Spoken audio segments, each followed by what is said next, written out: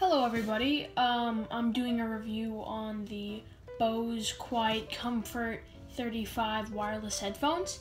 These are these are the silver version, um, so most of the things on on these headphones will be silver.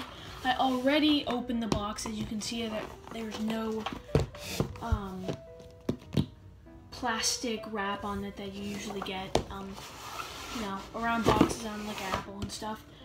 So, right as I open the box, I see this nice foam to protect whatever's inside, the headphones and other stuff. And there's this nice lift like this. Um, and the first thing you see are uh, are instructions to pair the Bose headphones with your phone, and it's just through Bluetooth. And these are the, the, the controls. So right out of the box, you're greeted with a nice hard case. And this comes with almost every pair of Bose headphones you get. And right in the box, um, you have this auxiliary cable. Sorry.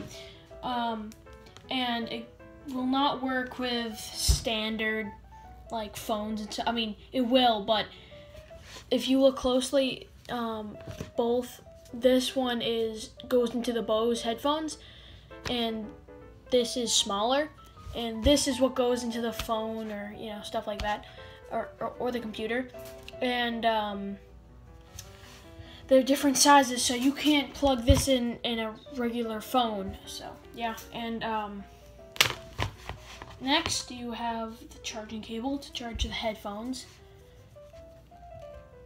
And I forgot to mention, you can use these if they run out, if it runs out of battery. This is a nice touch I love with the Bose headphones that they always come with. Um, on most airplanes or airlines, they, um, if you want to listen to music and stuff like that, uh, like the TV or the radio, um, usually plug your headphones in, but they might not always work and and stuff like that. And um, they it comes with a nice adapter because they usually have two auxiliary ports that you can plug in, and this fixes the problem. This is awesome. It always works. Next, best part of it, the nice headphones, the Bose wireless, and turn it on.